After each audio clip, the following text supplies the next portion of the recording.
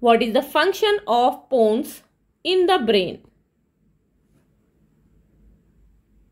The pons is the major structure of the brain stem present between the midbrain and medulla oblongata. It serves as a relay signals between the lower cerebellum, spinal cord, the midbrain, cerebrum, and other higher parts of the brain. The main functions of the pons include First one is it is involved in transferring information between the cerebellum and motor cortex.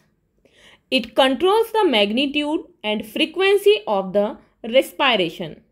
It is also involved in controlling the sleep cycles. In addition, the pons is involved in sensations such as the sense of taste, hearing and balance. For more such videos, please subscribe our channel and press the bell icon for the latest notifications. Thank you.